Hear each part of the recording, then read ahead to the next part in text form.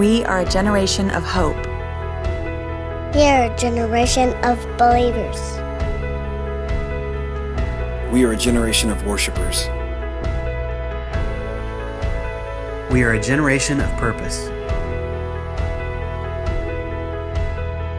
We are a generation of faith. We are a generation of strength. We are a generation that knows our identity in Him. We are a generation of community. We are a generation of servants. We are a generation of joy. We are a generation of compassion. We are a generation praying for revival. We are a generation of love. We are Generations Church.